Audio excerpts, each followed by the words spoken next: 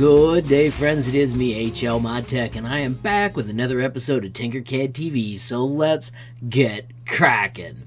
Friends, the goal of every episode of Tinkercad TV is to entertain and inspire. Today's design is pretty sweet, so let me show you what we got. Friends, today's design comes from Unlimited Model Works.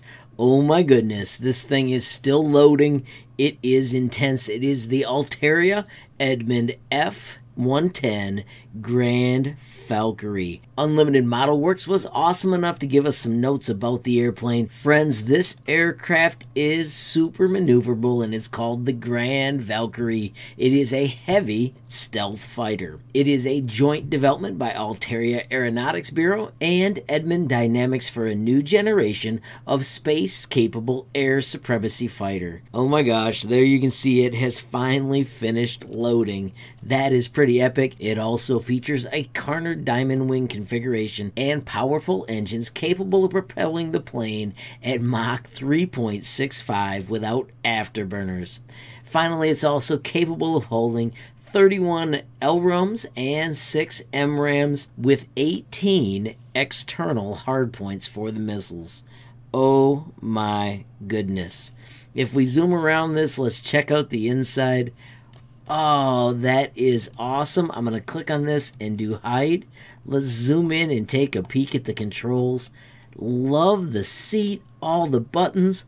What a sweet creation. Let's bring that back so you can see it in its native glory. So friends, I love a design like this where it is totally built in Tinkercad. There are so many cool shapes that Unlimited Modelworks has added to make this plane unbelievably realistic. Love these missiles over here. Nice touches like having actual flaps, elevators, and also a rudder. What a cool creation. Let's take a look at all the different kinds of missiles it can carry. So we have got a small yield nuclear bomb. We've got a precision guided bomb. It can have a long range universal missile. It has also got the medium range air to air missile or MRAM, long range air to air missile, and then finally a short-range incendiary missile. This design took a bit of time to load, but even more impressive, it took Unlimited Model Works about two weeks to create it.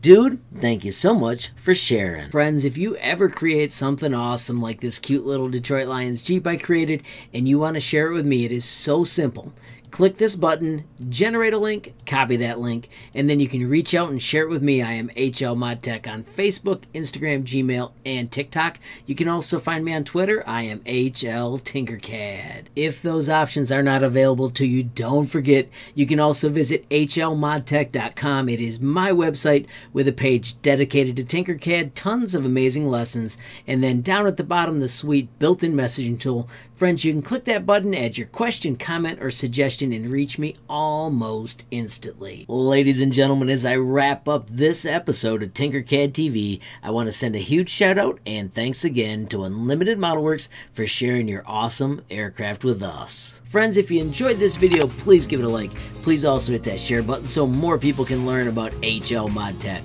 Of course, if you got a question, comment, or suggestion, add it down below. And if you haven't subscribed yet, what are you waiting for? Smash that subscribe button. And last but not least, hit that notification bell if you want to be the first to know when there's a brand new video from me, HL Mod Tech. Thanks for watching. Have a great day.